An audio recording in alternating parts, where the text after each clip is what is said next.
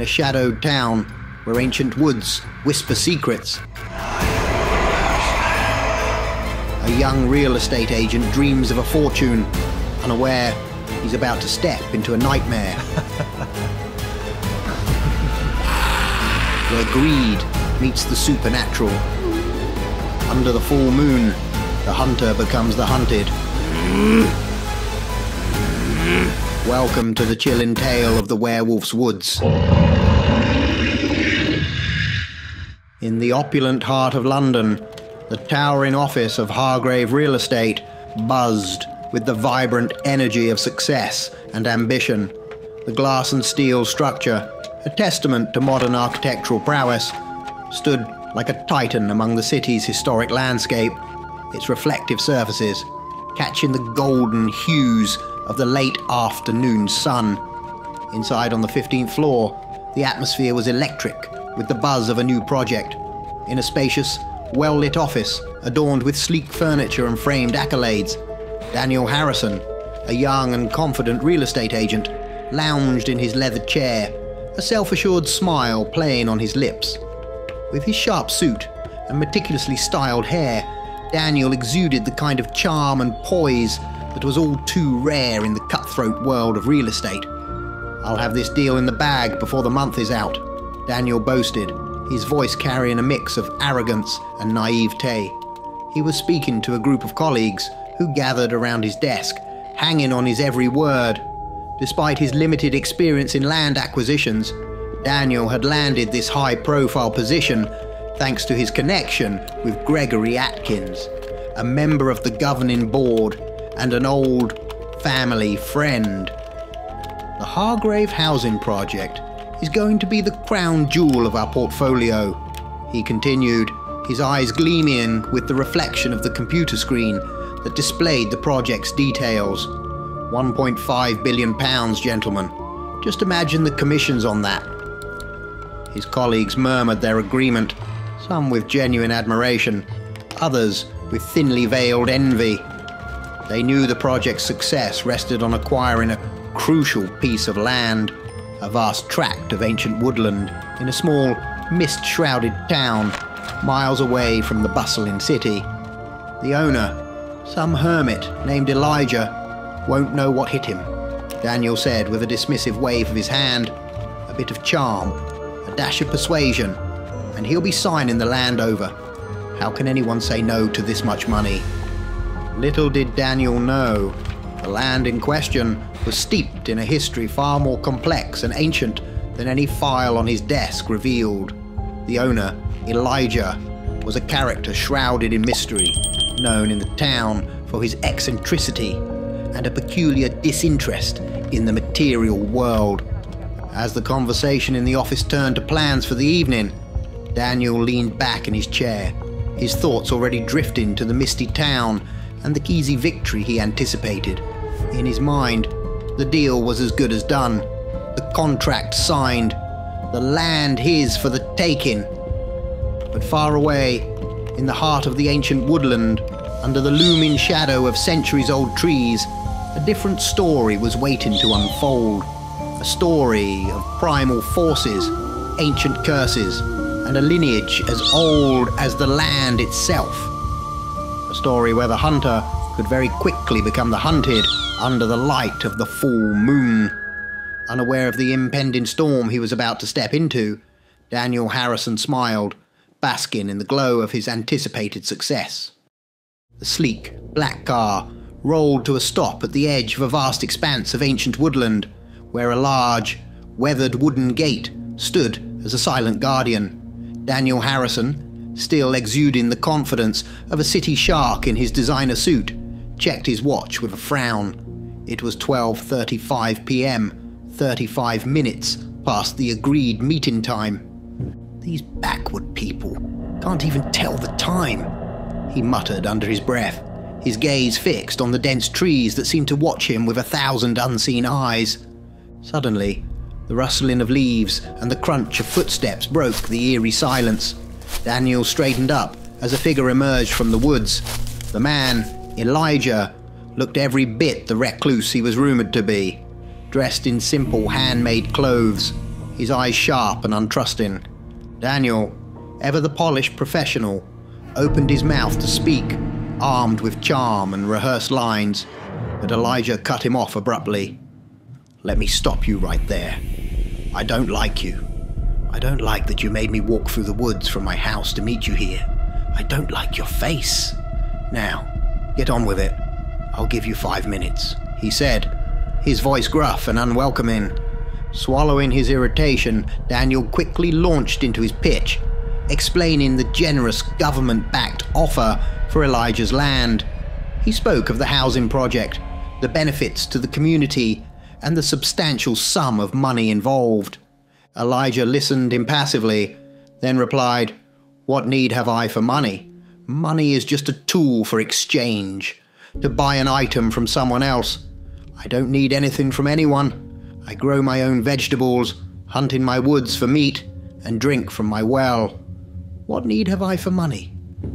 Undeterred, Daniel suggested that Elijah could buy nice clothes, a bigger home, or a new car. But Elijah dismissed each suggestion with a wave of his hand. I have a house, I make my clothes, and my legs are good, but you offer me money that's not yours. Government money is money taken from hard-working souls by fear of force or prison. If I did need money, it wouldn't be dirty money. And your five minutes is up, he said, his tone final. Daniel, desperate to salvage the deal, tried every sales tactic and influence trick he had learned from books and seminars, but it was clear none of it had any effect on Elijah. Elijah fixed Daniel with a stern look. Word of warning. I know people like you. I know what they want. They want power and money off the backs of others. I don't like you. If you send me a letter again, I'll use it in my fire. Do not come back. If I see you on my land, I'll consider you trespassing. And if you do decide to trespass, heed this warning. Do not walk through my woods alone. There are lots of hungry creatures in there, and a weasel like you would be easy pickings. Before Daniel could reply, Elijah turned and disappeared into the trees, vanishing as suddenly as he had appeared. Daniel stood there, momentarily stunned, the echo of Elijah's warning ringing in his ears. The realization that this deal was not going to be as easy as he thought slowly sank in, leaving a cold feeling in the pit of his stomach. As he turned back to his car, the woods seemed to close in around him, whispering secrets of the ancient land he was so eager to claim. Daniel Harrison's return to the Hargrave real estate office was met with an atmosphere starkly different from the one he had left behind.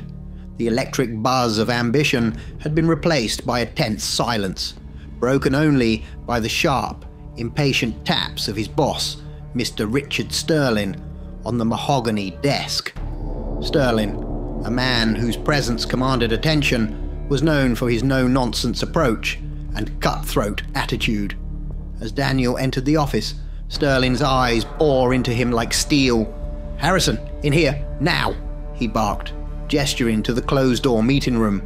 Inside the room, the air was thick with expectation and impatience. Sterling stood, his hands clasped behind his back, gazing out of the floor to ceiling windows at the sprawling city below. Well? he demanded, without turning, his voice laced with barely concealed frustration.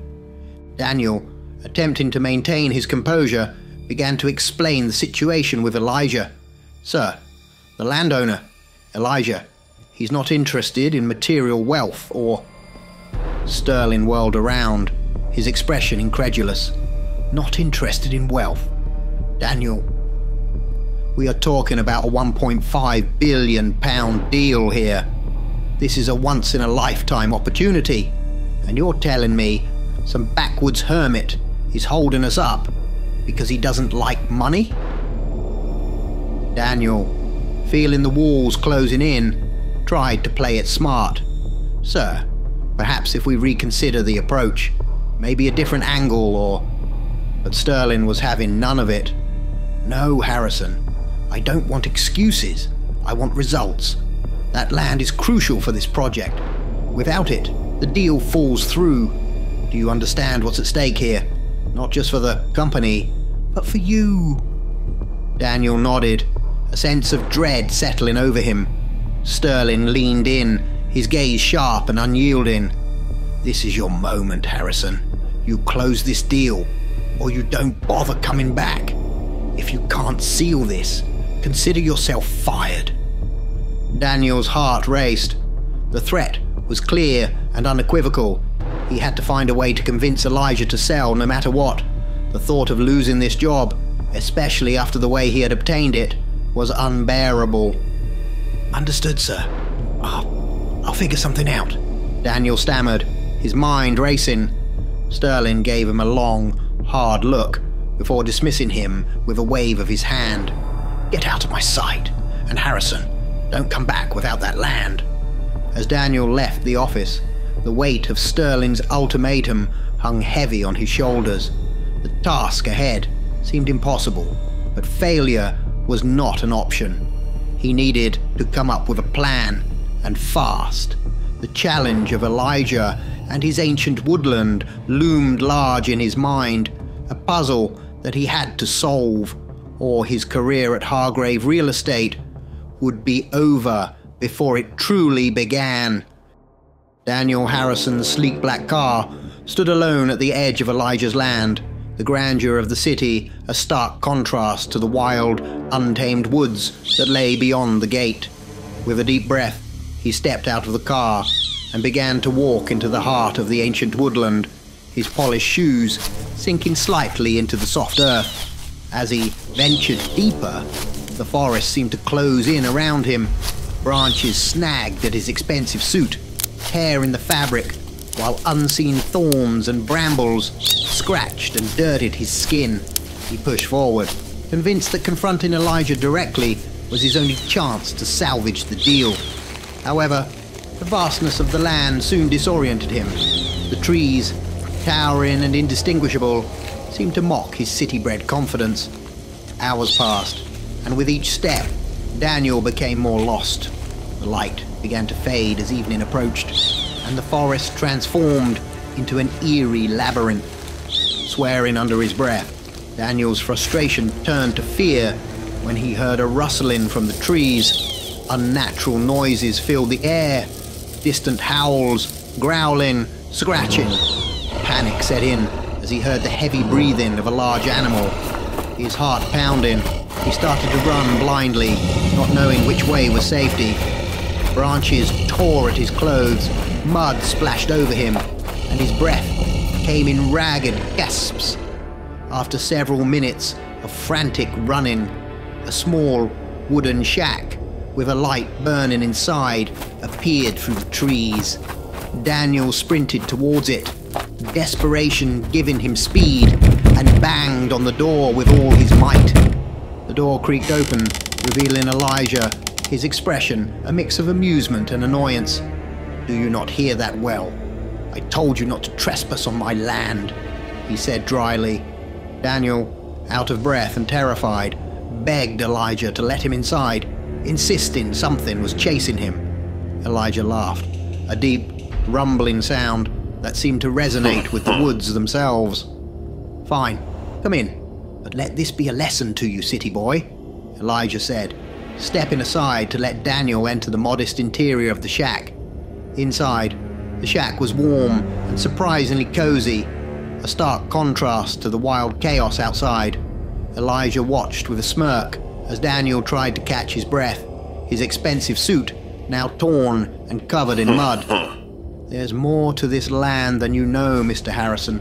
Perhaps now you'll think twice before you try to claim it as your own, Elijah said, his voice carrying a hint of warning. Daniel, still shaken from his ordeal, realized just how out of his depth he truly was.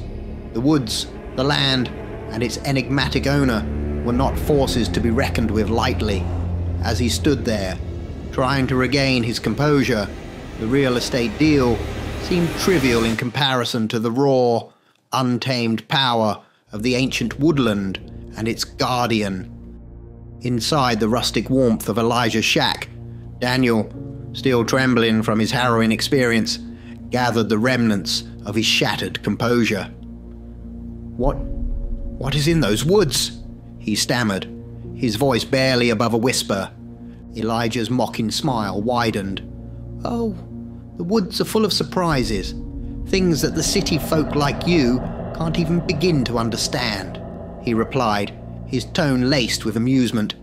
Determined to salvage something from this disastrous encounter, Daniel attempted to steer the conversation back to the land deal. Mr. Elijah, about your land, surely we can negotiate a. Elijah's demeanor abruptly shifted, his eyes flashing dangerously. Negotiate? After you blatantly disregarded my warning and trespassed, I should throw you back out into the dark woods. His voice was a low growl, resonating with a barely contained anger. Daniel recoiled, fear etched on his face. No, please. I beg you, don't do that. I. I didn't mean any harm. He whimpered, the memory of the unseen terrors in the woods fresh in his mind. Elijah's expression softened slightly, but his eyes remained hard. Sit down, Mr. Harrison, and listen well. My family has been on this land for generations. This land is ours, bound by a legal clause that's as old as these woods.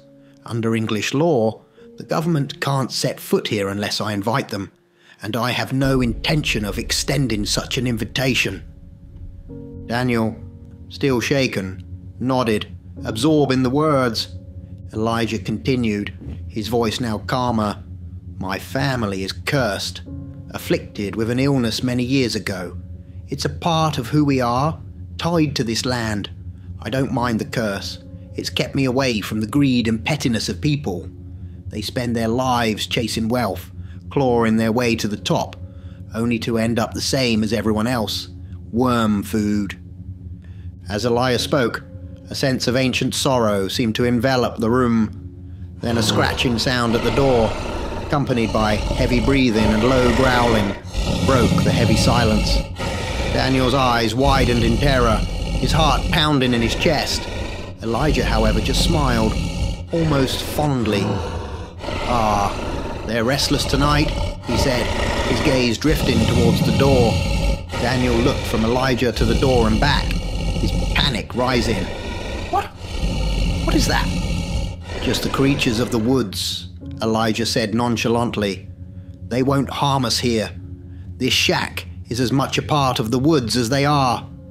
Daniel couldn't comprehend the calmness in Elijah's voice, the ease with which he accepted the presence of something so terrifyingly unknown.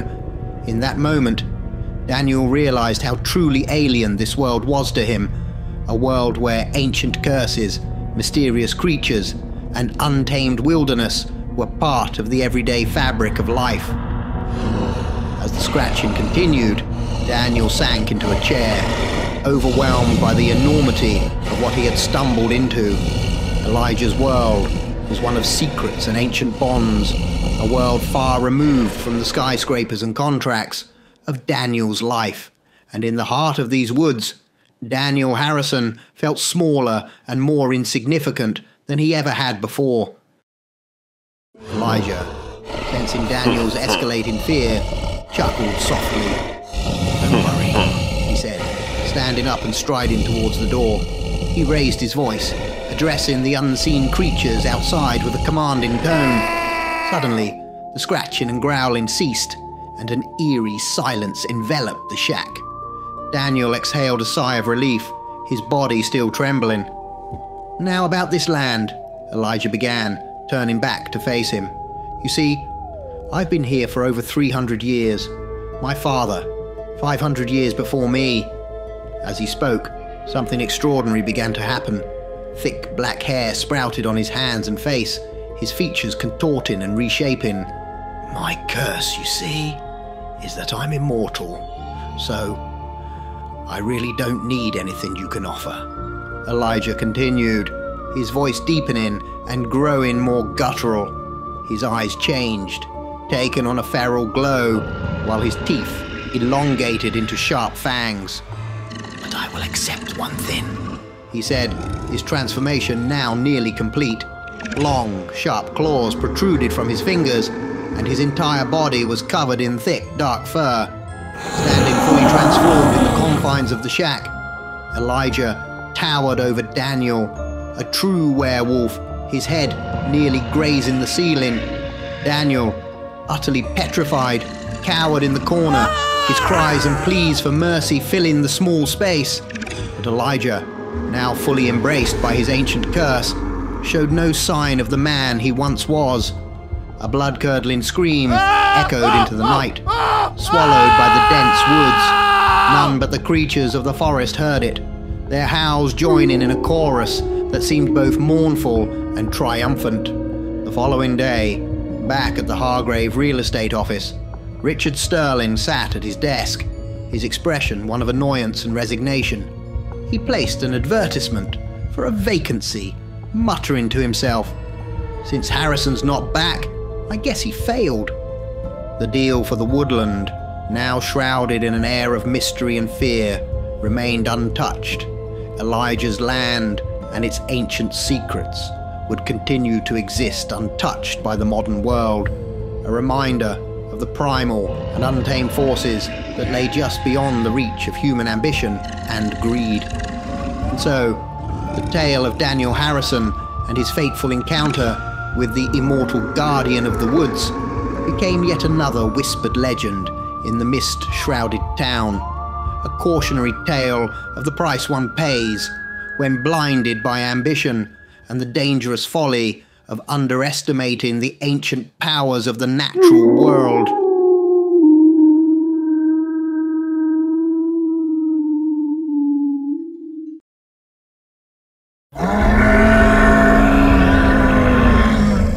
In the eerie glow of the full moon, a love story with a haunting twist unfolds.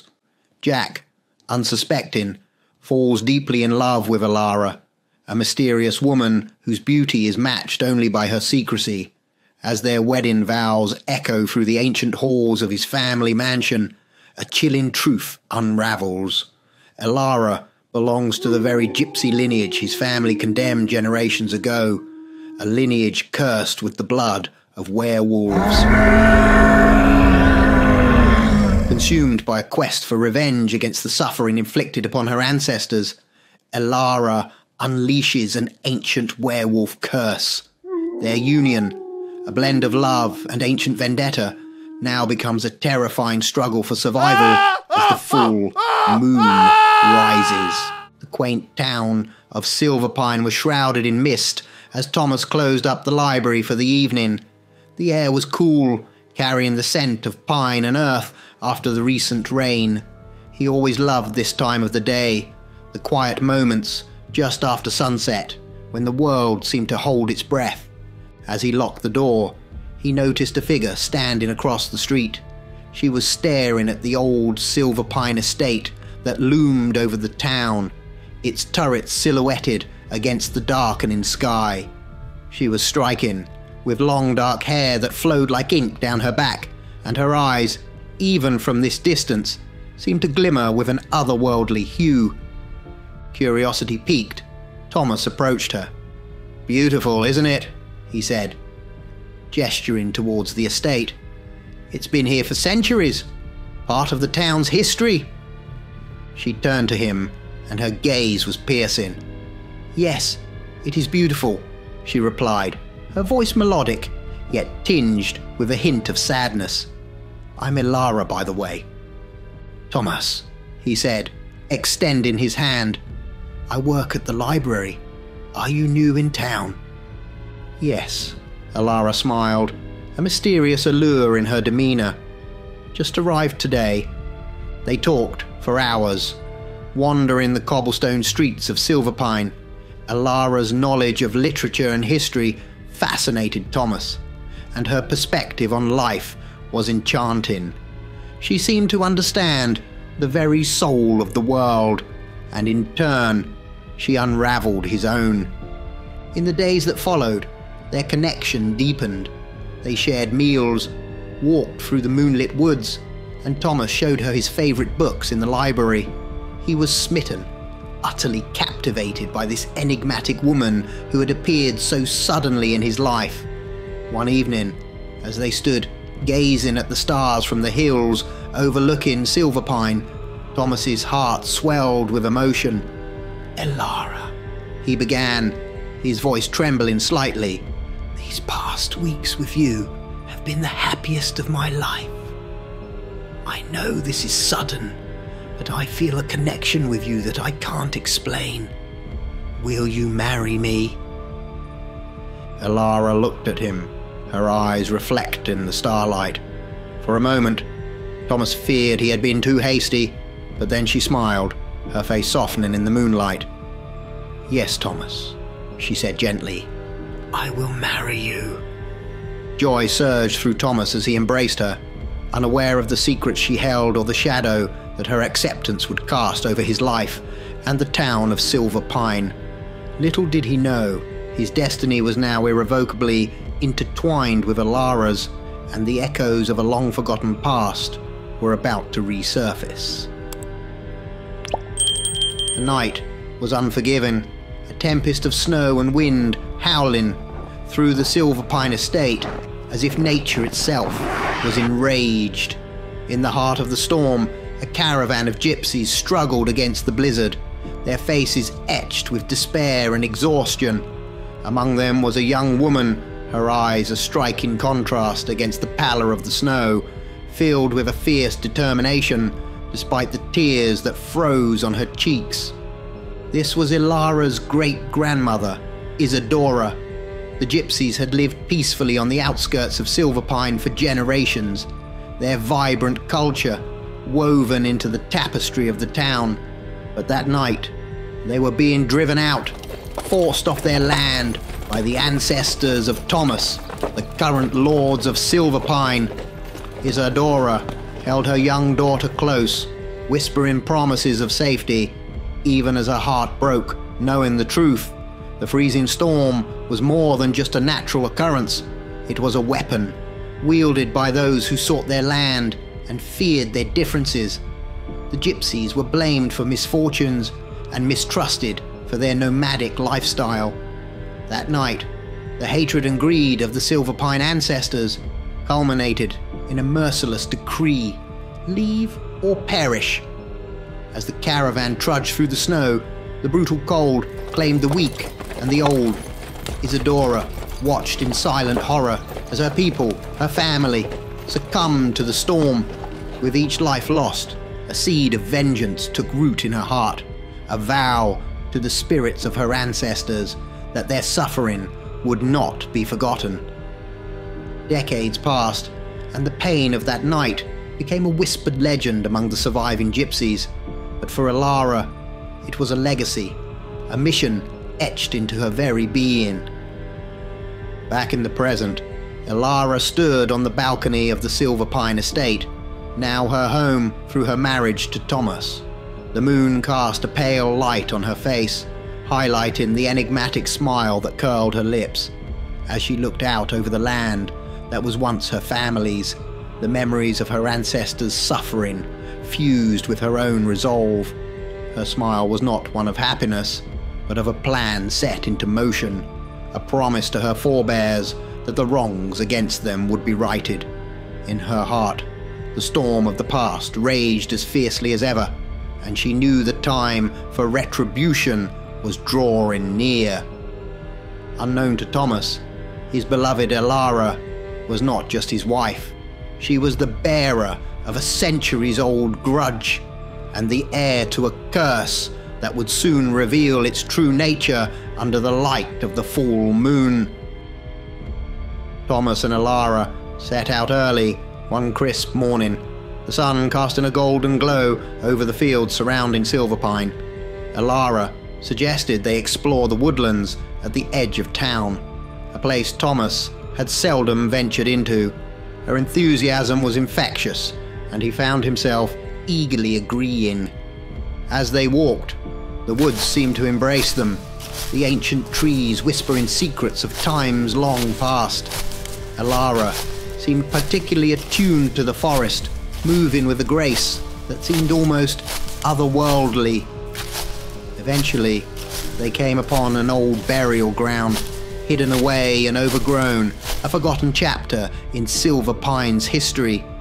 Intrigued, Thomas followed Elara as she weaved between the weathered headstones, her steps purposeful. Then, hidden beneath a cascade of ivy, they discovered an old crypt, its stone facade worn by the years, but still standing strong. Let's see what's inside, Elara said, her voice tinged with a curious excitement. The crypt's heavy door creaked ominously as they pushed it open, revealing the dark, musty chamber within.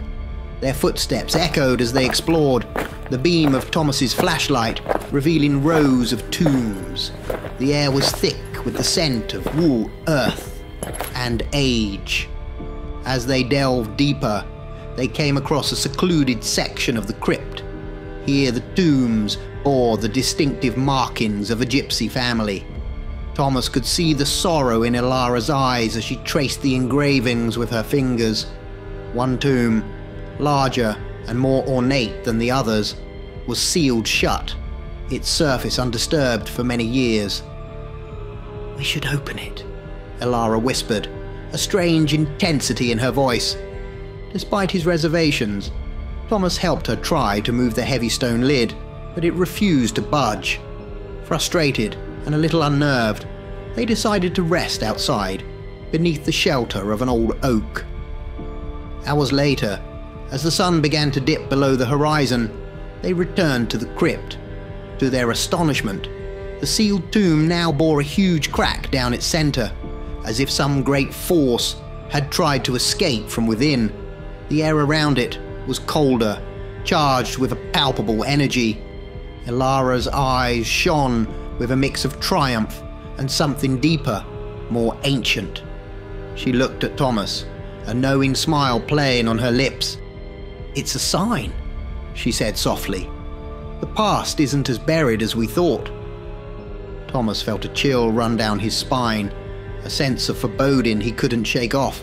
The crypt, the cracked tomb, Elara's enigmatic reaction. It all felt like pieces of a puzzle he was only beginning to understand. As they left the burial ground, the shadows of the crypt seemed to linger, a silent sentinel guarding secrets that were slowly clawing their way to the surface. The night enveloped Silverpine in a shroud of darkness, the only light coming from the sliver of the crescent moon. Thomas lay awake, his mind replaying the day's eerie discoveries. It was then he heard it a howl, deep and resonant, slicing through the night's stillness. It was unlike any sound he had heard before, filled with a dark, haunting quality that sent shivers down his spine. The following morning, the town of Silverpine awoke to a scene of horror. Livestock were found slaughtered in the fields, their bodies mangled in a grotesque display. The townspeople murmured in fears and confusion, but the worst was yet to come. On the outskirts of town, near the edge of the woods, they found a man, torn to shreds as if mauled by a wild beast. The brutality of the attack was chilling, leaving the villagers in a state of shock and fear. Amidst this chaos, Thomas realized Elara was missing. Panic gripped him as he searched their home, calling her name, but there was no sign of her.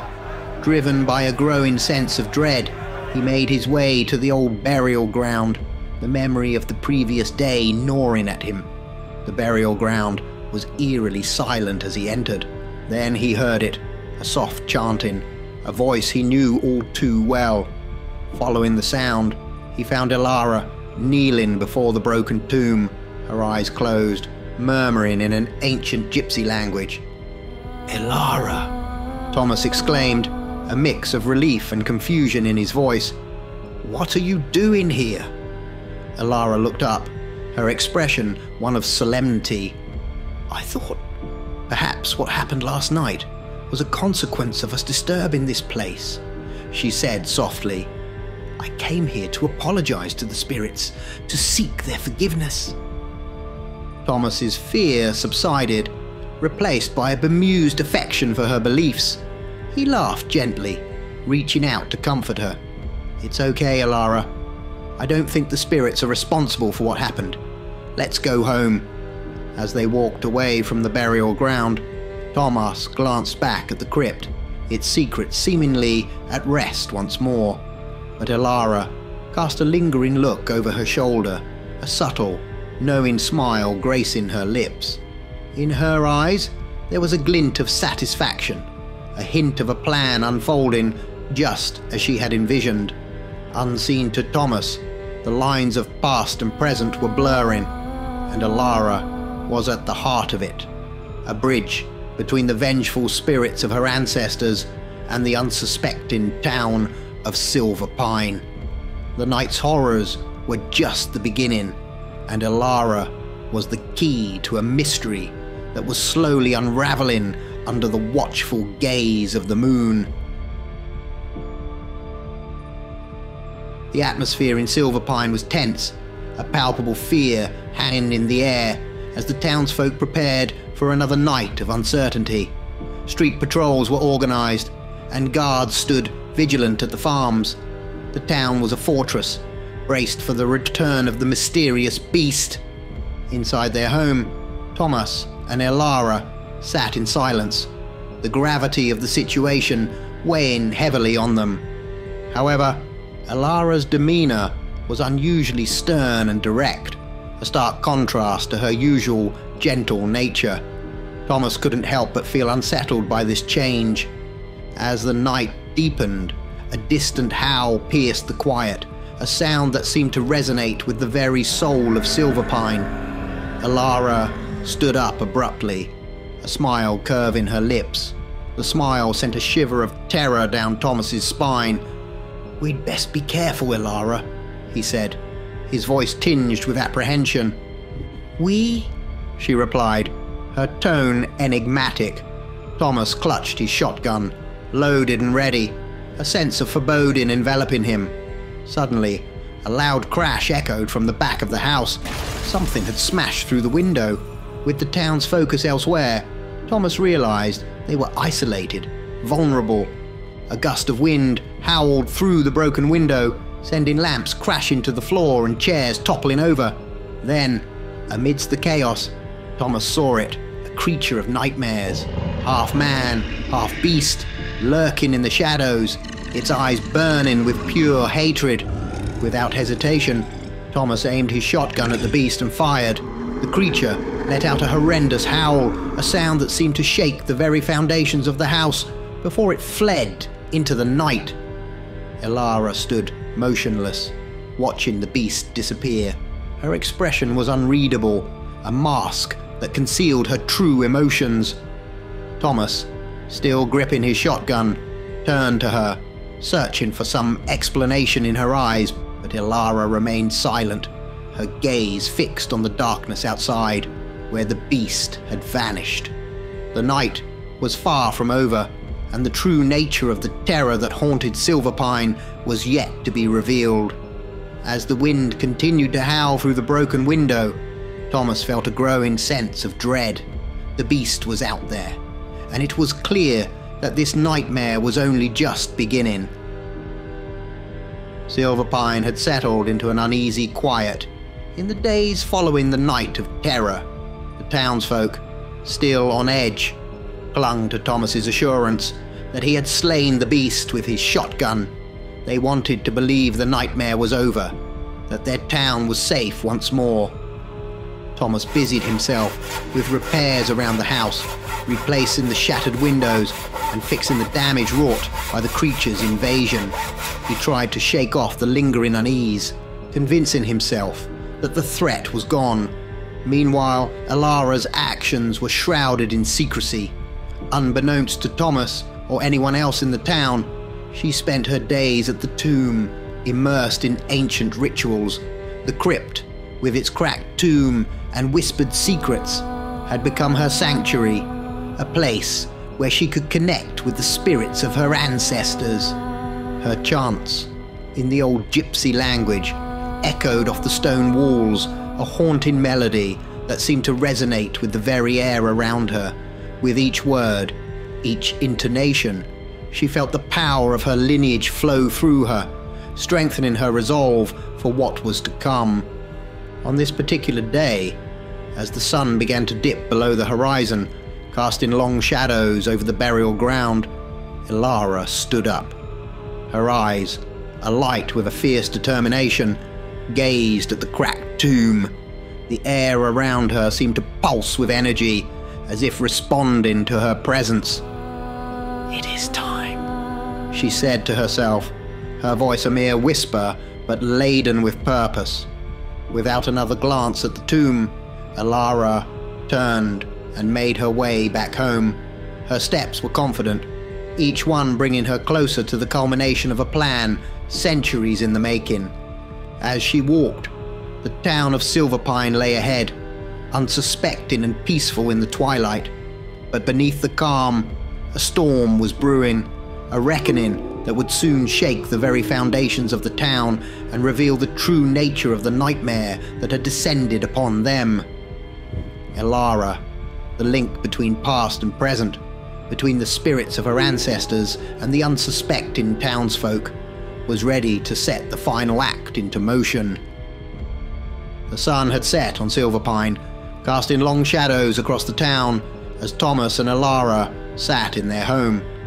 Thomas had taken every precaution, building a fortified safe room within the house. Its massive bolted door was designed to withstand any force, a sanctuary against the horrors that lurked outside. As they sat together, the eerie calm was shattered by a familiar and chilling howl. Thomas's heart sank. It's back, he said, a tremor in his voice. He urged Elara towards the safe room. Quickly, go inside. I'll handle this. With Elara safely inside, Thomas loaded his shotgun, his hands shaking slightly. He waited, his breath shallow, as the tension in the air grew thicker. With a terrifying crash, the beast burst through the window, its monstrous form, half man, half beast, eyes burning with a feral hatred. Thomas fired, but the creature seemed unfazed, continuing its relentless advance. Realizing the futility of his efforts, Thomas retreated to the safe room. He bolted the door behind him, his heart pounding. There's no way it'll get through there, he assured himself. But then, a low growling filled the room. Thomas spun around, his blood turning to ice as he witnessed Elara beginning to transform, her body contorted, her features morphing into a grotesque fusion of woman and beast. There's also no escape, she snarled, her voice a guttural echo of her human self. My great grandfather waits outside, while I'm here with you. Thomas recoiled in horror as the truth dawned on him. Elara, the woman he loved, was part of the nightmare. Why? He gasped, barely able to comprehend the unfolding scene. Elara's eyes, now a glowing amber, bore into him. Vengeance, she growled. Your ancestors destroyed my family, left us to die in the cold. Now their bloodline ends with you. Thomas's pleas were drowned out by her growling. The room was filled with a palpable sense of dread, the walls seeming to close in on him. There was no escape, no way out of the fate that awaited him. As Elara advanced, her form now fully that of a werewolf, Thomas's screams echoed through the safe room. The sound of his terror was the last thing heard before a haunting silence fell over the house. Outside, the beast that was once Elara's great grandfather howled, a mournful sound that carried through the night. In the town of Silverpine, under the watchful gaze of the moon, a tragic tale of revenge reached its bloody conclusion, a cycle of hatred and retribution coming full circle. The screams faded, and the night reclaimed its silence, the shadows of the past forever etched into the legacy of Silver Pine.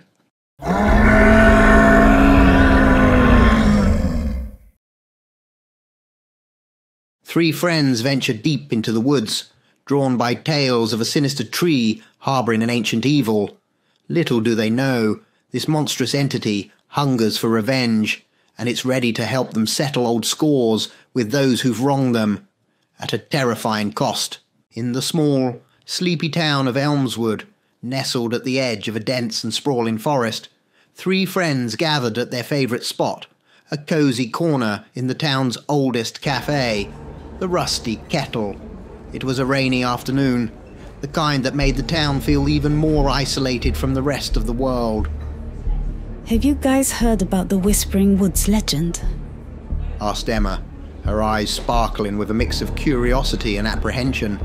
She was the adventurous one in the group, always keen on exploring the unknown. Her friends, Luke and Hannah, exchanged a glance. Luke, a tall, athletic guy with a skeptical mind, shrugged. You mean that old story about the creature in the woods? That's just a tale to scare kids, Em. Hannah, a quiet, thoughtful girl with a love for local history, chimed in.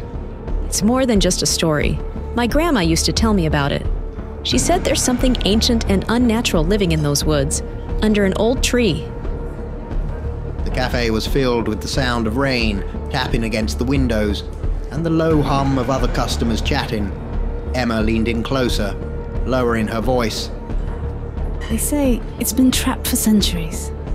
A creature with massive teeth and thick fur.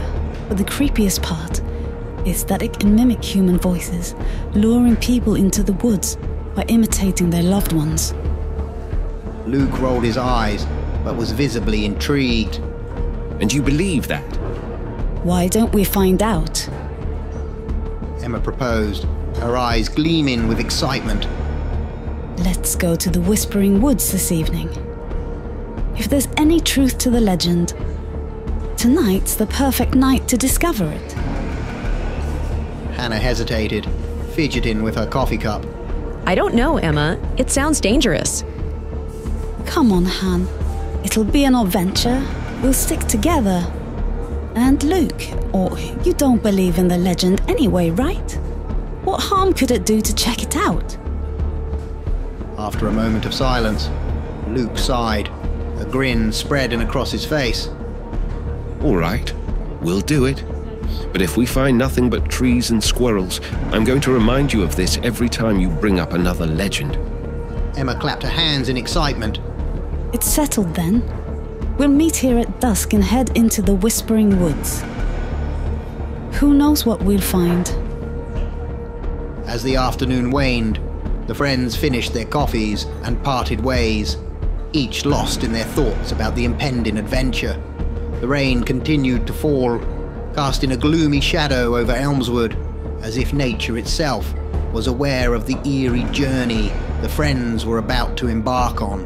The legend of the Whispering Woods, a tale woven into the fabric of the town for generations, was about to be explored, and none of them could foresee the chain of horrifying events they were about to unleash. Dense forest of the Whispering Woods loomed before Emma, Luke, and Hannah as they stood at its threshold, the dying light of the day casting long shadows between the trees. The air was thick with the earthy scent of damp soil and the faint, unsettling rustle of leaves in the gentle breeze. The friends, armed with flashlights and an unspoken bond of curiosity, ventured into the woods, their footsteps muffled by the mossy ground. As they delved deeper, the forest seemed to close in around them, the trees older and more gnarled, as if they were entering a different world, a forgotten part of time. It wasn't long before they stumbled upon an ancient tree, towering and twisted, its bark etched with carvings and symbols that seemed to dance eerily in the flashlight beams. The ground around the tree was a macabre scene. Bones and remnants of fresh kills lay scattered, a chilling testament to the legend they had only whispered about in the safety of the cafe. At the base of the tree, there was a small opening, just large enough for a hand to fit through, or for a small animal to enter. A sudden, low growling emanated from the hole, a sound so primal and unnerving that it sent shivers down their spines. Without a word, they turned and fled, the underbrush scratching at their clothes as they ran. Once they were a safe distance away, hidden by a thicket, Luke, panting heavily, said, Let's watch for a while, see if anything happens. They huddled together, their initial giggles and jokes soon fading into an anxious silence as they focused on the ominous tree. As the sky darkened, a small rabbit, unaware of the danger, hopped towards the tree, sniffing curiously around it. Without warning, a hand, or what resembled a hand, emerged from the hole. It was covered in fur, with long, grotesque claws. In a swift, almost unnatural movement, it grabbed the rabbit. A muffled noise followed, and then an unsettling quiet. The friends exchanged looks of shock and disbelief. The legend was no longer just a story, it was real, and it was more horrifying than they could have imagined. As darkness enveloped the forest, they agreed to return home and come back the next day, armed with better cameras and equipment. They needed proof. They needed to understand what lurked within the Whispering Woods. But as they made their way back through the shadowy forest, each of them couldn't shake off the feeling that they had just awakened something ancient and malevolent. Luke stepped out of his house, the morning sun barely cresting the horizon. In his hand, he clutched a camera, his mind set on capturing whatever truth lay hidden within the Whispering Woods. As he made his way to his car, a familiar and unwelcome voice called out to him. Where are you going, pretty boy? Ben sneered, flanked by two of his usual cronies. Ben had been the bane of Luke's school days, a relentless bully who seemed to take pleasure in tormenting others. Luke's grip tightened on the camera. Just out for some photography. He replied, trying to keep his voice steady. Ben scoffed, stepping closer. And where are those two girls you're always hanging around with? We're in the mood for partying. His friends laughed, a harsh sound that grated on Luke's nerves. Before Luke could react, Ben shoved him, hard. Make sure you be sharing now. He taunted. Those girls look sweet. His friends echoed his laughter, pushing Luke again. Frustration boiling within him, Luke quickly got into his car and drove away, leaving Ben and his cronies behind. He met up with Emma and Hannah a few minutes later, his mood visibly dampened by the encounter. Everything okay, Luke? Hannah asked, noticing his troubled expression. Yeah, just Ben and his goons. Luke replied, forcing a smile. As they drove towards the Whispering Woods, Luke's thoughts were a mix of anger and apprehension. One day, those bullies will get their lot. He muttered, more to himself than to his friends. Emma, who had been listening quietly, suddenly chimed in with a mischievous glint in her eye. Stick them in the hole for the creature. She suggested, half jokingly. Luke couldn't help but smile at the thought, a brief respite from his frustration. The idea of Ben facing off against the mysterious creature of the woods was oddly satisfying. But as they parked near the forest's edge, the reality of their mission set in. They were about to delve into the unknown, to uncover the truth behind a legend that had already shown its terrifying face. With cameras in hand and a mix of fear and determination in their hearts, they stepped into the Whispering Woods, unaware of the horrors that awaited them. The morning sun filtered through the dense canopy of the Whispering Woods as Emma, Luke, and Hannah set up a makeshift campsite. They chose a spot just far enough from the ancient tree to remain unseen, but close enough to keep a watchful eye on the mysterious den at its base. They positioned their cameras with zoom lenses aimed directly at the small, ominous opening in the tree. Hours passed in tense anticipation. The forest was alive with the sounds of nature, but the area around the ancient tree seemed unnaturally still, as if the creatures of the woods knew to steer clear of it. Then a deer, oblivious to the danger, meandered close to the tree. It was much too large to fit into the hole, but that didn't matter. In a blur of movement, the clawed hand shot out from the opening, grasping the deer with terrifying strength. Within seconds, The deer was pulled into the hole, devoured whole by whatever lurked within. Did you get that? Emma whispered, her eyes wide with shock. Luke fumbled with his camera, a mix of frustration and disbelief on his face. No, I didn't hit record. He admitted, regret lacing his voice. A deep, resonating growl then emanated from the tree, sending a chill down their spines. Luke, driven by a mix of fear and curiosity, suggested, Let's shine a light in the hole, see what's in there. Are you crazy? Hannah responded, her voice laced with worry. I'll stay far enough back so I'm out of reach. Luke assured her, though his own heart raced with apprehension. He cautiously approached the hole and attempted to shine his flashlight into it. Strangely, the beam of light seemed to be swallowed by the darkness, unable to penetrate the inky blackness of the den. As he peered into the abyss, Luke could have sworn he saw two glowing red eyes watching him, sending a wave of primal fear through his body. Luke, I've got to get back. I have class at 2. Emma called out, startling him and breaking the tense moment.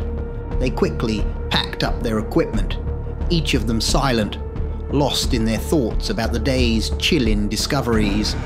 As they made their way out of the whispering woods, the sense of being watched lingered with them, a haunting reminder of the creature that now knew they had trespassed into its domain. The drive back to town was quiet, each of them processing the terrifying reality that the legend of the Whispering Woods was no mere story, but a living nightmare.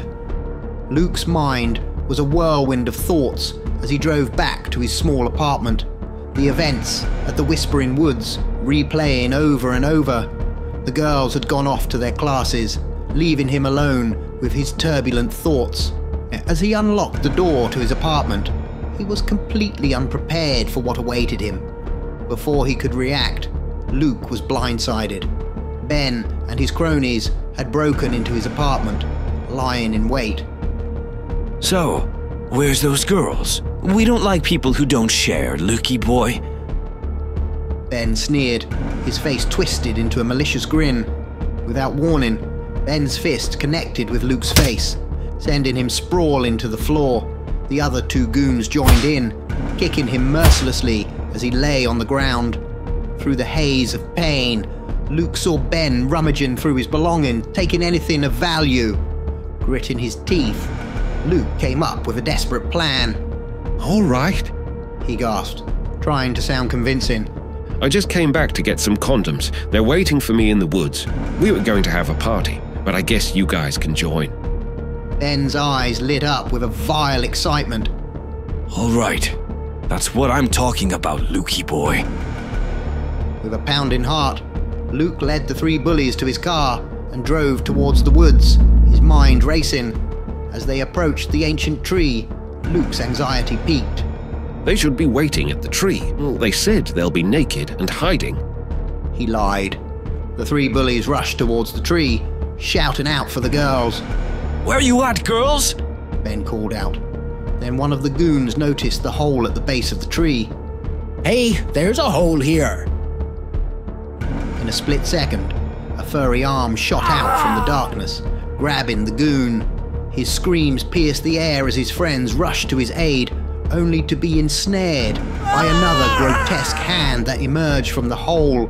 In moments, all three were pulled into the hole, disappearing into the darkness. Luke stood frozen, shock and disbelief coursing through him. Slowly he approached the tree, peering into the abyss.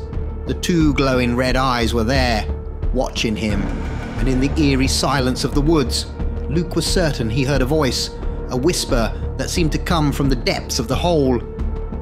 Thank you, Luke.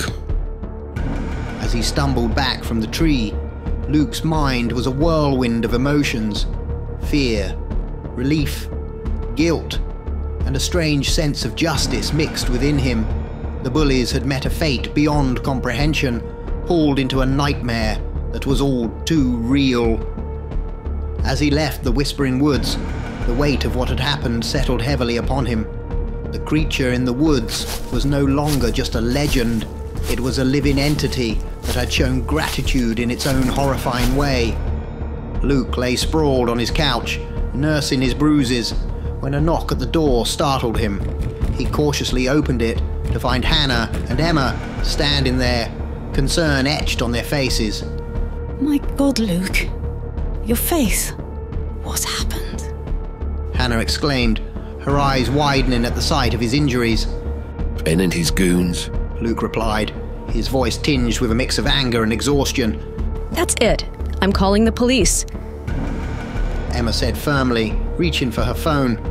No, I've taken care of them. Luke interrupted, his voice low. I led them to the hole. And that thing, it ate them. Emma and Hannah exchanged a glance, then burst into laughter, thinking it was a joke. But Luke's serious expression quickly wiped the smiles off their faces. No, really. Luke insisted. It ate them as if they were nothing, and it thanked me. The laughter died as the gravity of Luke's words sank in. A heavy silence fell over the room, broken only by Hannah's soft sobs. She finally spoke, her voice trembling. Billy Lothan. She said, tears streaming down her cheeks. He. he forced me, you know. I screamed and tried to fight him, but. She couldn't finish her sentence, overcome with emotion. Luke and Emma exchanged shocked glances. Emma, her face pale, turned to Luke. What about you, Emma? Luke asked gently. What? No, I can't. I'm good. Emma protested, but her voice lacked conviction. Well, let's do it. Luke said decisively, a dark resolve in his eyes.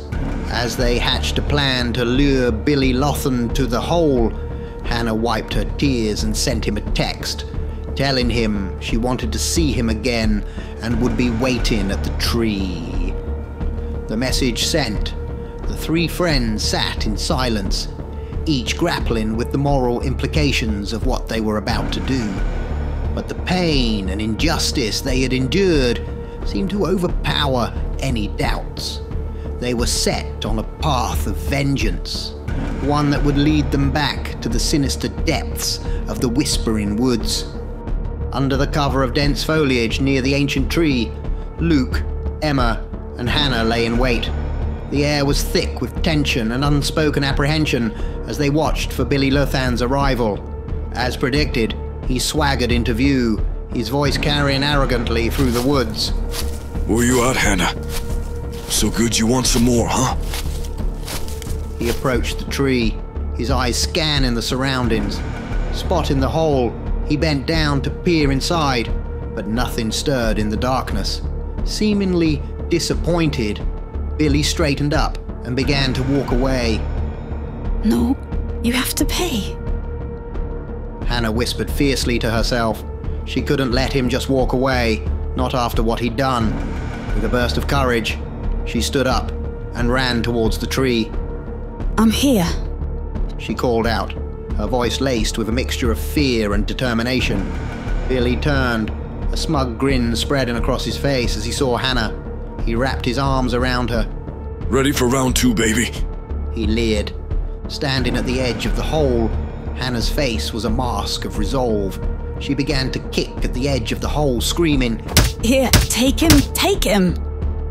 Billy shoved her away, his expression turning from lust to confusion and anger. You crazy? He spat out. Oh, well, let's do something about that. But at that very moment, the grotesque, clawed hand shot out from the hole. With a strength and speed that defied nature, it grabbed Billy and dragged him screaming into the darkness. Hannah stood there, a mix of horror and satisfaction on her face. As she peered into the hole, the words Thank you, Hannah, seemed to whisper from the depths, sending a shiver down her spine. She knew it was the creature, acknowledging her in its own terrifying way. Luke and Emma, who had watched in stunned silence, rushed to Hannah's side. They stood together, looking at the hole, a sense of eerie closure washing over them. The monster in the Whispering Woods had become their unwitting avenger, a dark guardian that exacted the justice they felt the world had denied them. As the trio prepared to leave the Whispering Woods, a sudden change overcame Emma. She turned towards the ancient tree with a look of determination and fear mixed in her eyes. I'm not having this. We can't do this anymore. She declared resolutely. Before Luke or Hannah could react, Emma sprinted back to the car, grabbed a spade, and began to furiously dig around the edges of the hole. Luke rushed after her, grabbing her arm in an attempt to stop her. Stop, Emma! What if it gets out? But Emma was beyond reasoning. She swung the spade with a frantic energy, the hole growing larger and more unstable with each strike. Hannah joined Luke, trying to pull Emma away. Think, Em. What if it gets out and goes into town? It's just eaten a deer and four people. How much could it eat? The whole town?